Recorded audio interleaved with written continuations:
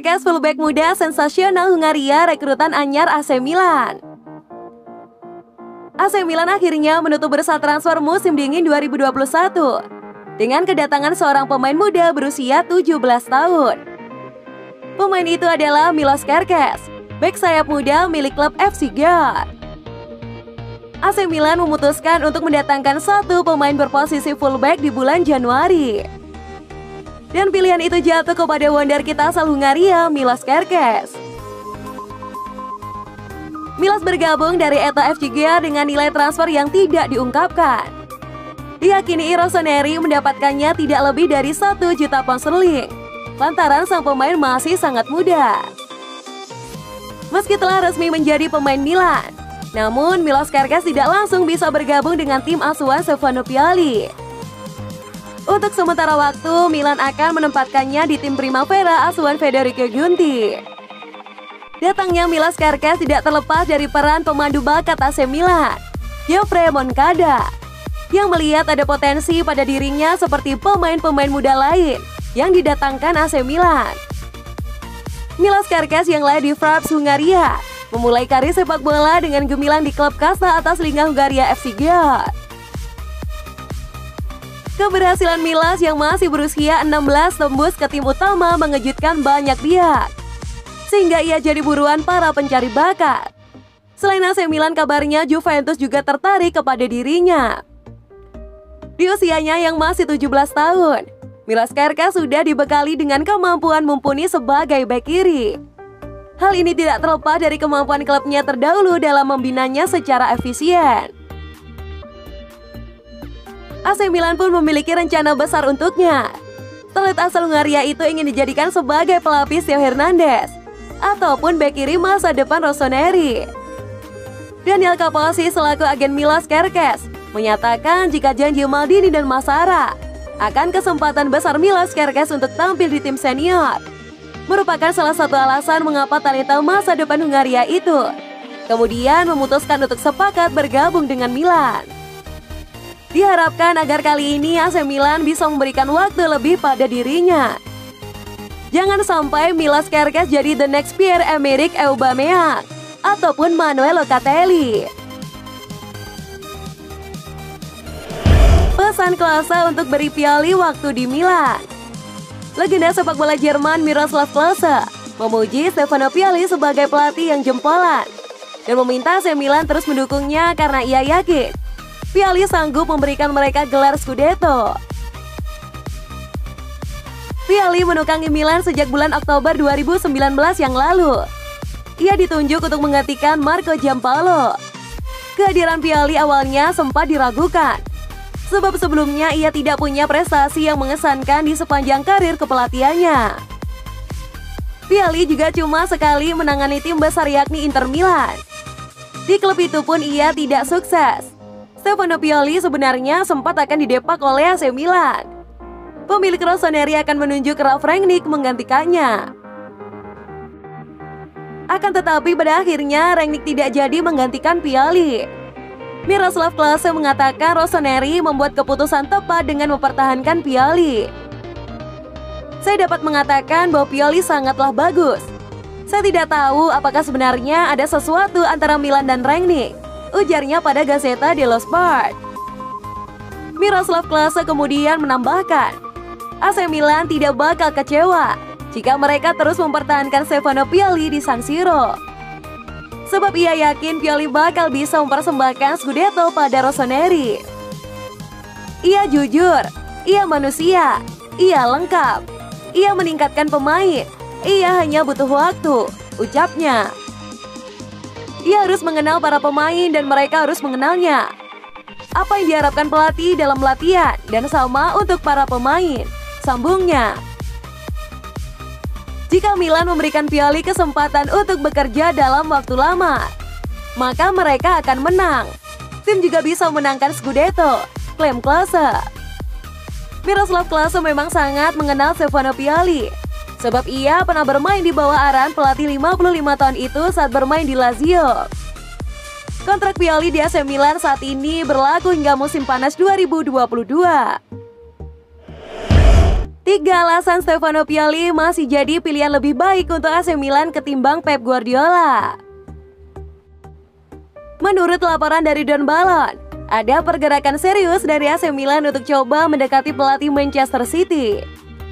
AC Milan disebut sedang mencoba membujuk Pep Guardiola untuk menggantikan pelatih saat ini Stefano Pioli. AC Milan sangat menginginkan Pep Guardiola demi ambisi bisa berprestasi lebih baik baik itu di kancah Italia ataupun di Eropa. Meski saat ini AC Milan sedang baik-baik saja, tetapi ada indikasi kalau manajemen kurang yakin Pioli bisa membawa setan merah ke level selanjutnya. Untuk itu, berdasarkan rekam jejaknya, Pep Guardiola dianggap sangat bisa memenuhi ambisi AC Milan itu. Akan tetapi jika mau dianalisis lebih jauh, Sesungguhnya ada tiga alasan mengapa Stefano Pioli masih menjadi pilihan lebih baik untuk AC Milan ketimbang Pep Guardiola. 1. Setelah Barcelona, Pep Guardiola tidak pernah sukses di Eropa. Jika ambisi AC Milan untuk menjadi raja di Eropa, rasanya Pep Guardiola bukanlah pilihan yang tepat. Karena setelah karirnya di Barcelona, Pep Guardiola faktanya belum pernah lagi juara Liga Champions baik itu bersama Bayern Munchen ataupun sekarang Manchester City. Padahal di Bayern Munchen, Pep Guardiola diwariskan skuad triple winners pada musim sebelumnya. Tapi Pep Guardiola dalam tiga musimnya bersama Bayern Munchen selalu gagal melangkah ke final Liga Champions. Untuk level domestik, mungkin Pep Guardiola masih menjadi ahlinya baik itu di Jerman ataupun di Inggris. Tapi begitu ranahnya di Eropa, Pep Guardiola seperti menjadi macan ompong karena tidak punya Lionel Messi. Setelah karirnya di Barcelona jadi mengangkat Pep Guardiola sebagai pelatih, tidak serta-merta akan membawa AC Milan berjaya di Eropa. Yang kedua, Pioli lebih mengenal AC Milan. Biar bagaimanapun, Pep Guardiola masih butuh waktu untuk mengetahui apa saja masalah dan solusi agar bisa mengangkat performa AC Milan ketimbang harus menunggu Pep Guardiola yang perlu waktu untuk beradaptasi dengan segala hal di AC Milan. Bukankah lebih baik tetap percaya pada Pioli? Lagi pula, Pioli sudah membuktikan dirinya membawa AC Milan bisa berada di posisi sangat enak seperti sekarang ini.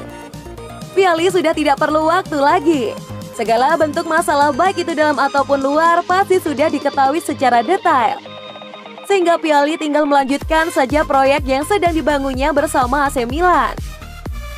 Membangun dari awal lagi akan lebih sulit ketimbang hanya melanjutkan proyeknya saja. Terdengar klise memang, tapi faktanya tetap Pioli lebih mengenal AC Milan daripada Pep Guardiola. Lalu yang ketiga, butuh biaya besar untuk bangun tim impian Guardiola. Memang benar AC Milan mungkin sebentar lagi akan terlepas dari masalah krisis keuangan. Tapi menunjuk Pep Guardiola, dibutuhkan uang yang tidak sedikit. Guardiola sudah menghabiskan banyak uang untuk membeli banyak pemain khususnya di area pertahanan.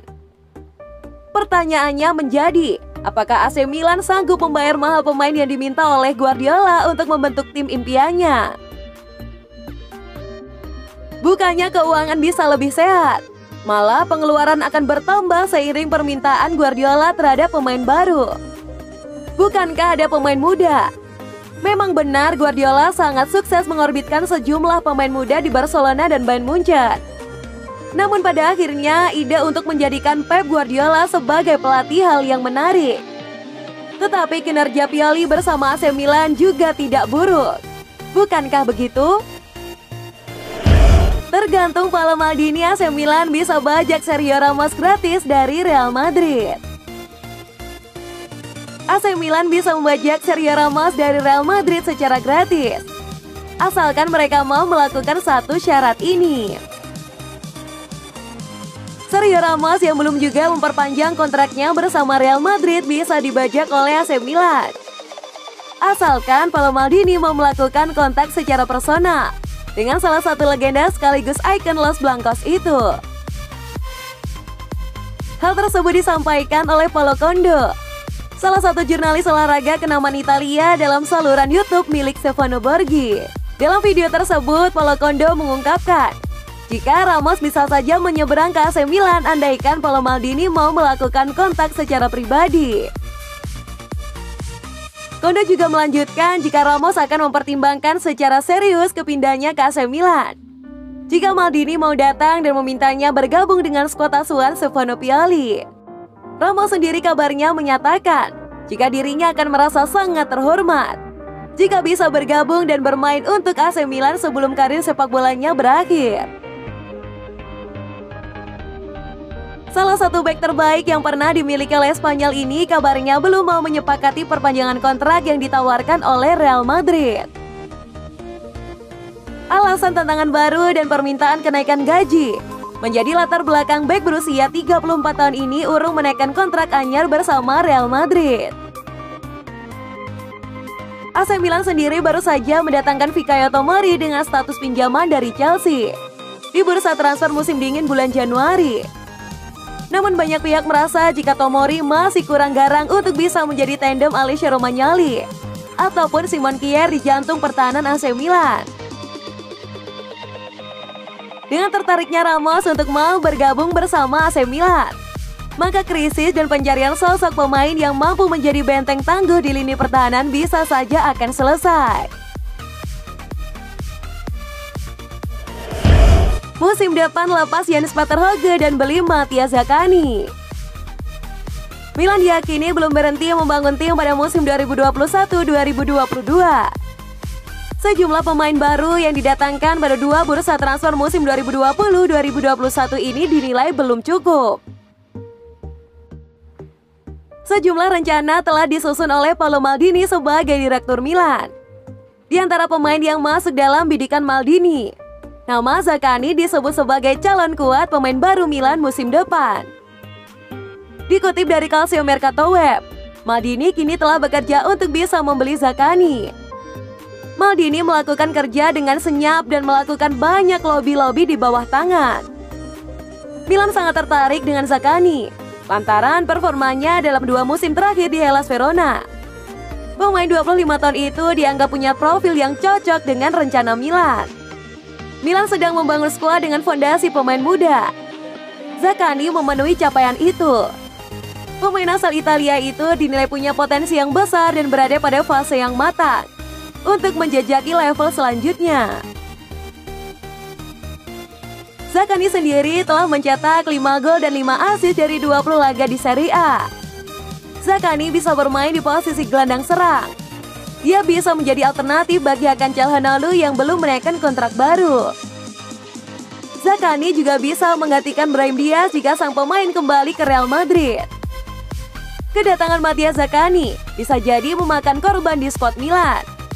Dan salah satu nama yang rentan ditendang dari squad Milan pada musim depan adalah winger kiri Jens Peter Hoge.